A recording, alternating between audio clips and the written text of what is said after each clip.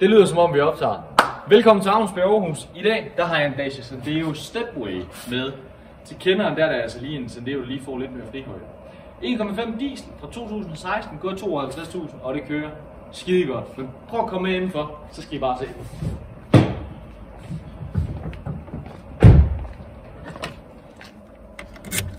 Vi skal lige have lidt tænding på, sådan, så I lige kan følge med i, i alle bilens øh, finesser og evner her.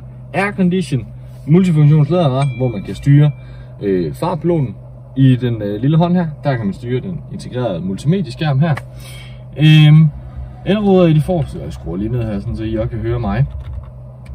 Og alt, hvad man har behov for. Vigtigst af alt i den her, det er altså den her høje indstigningshøjde. Så når man sætter sig ind i bilen, jamen, så sætter man sig ind i bilen, og man sætter sig ikke ned i bilen. Det er altså skide godt. Integreret navigation i skærmen her, og øh, jamen, altså alt, hvad man behøver i sådan en bil. Lad os se om i bag.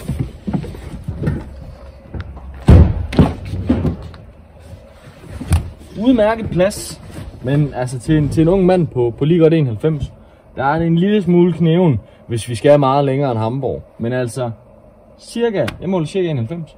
Det er indstillet til mig foran, og det, det går jo egentlig udmærket.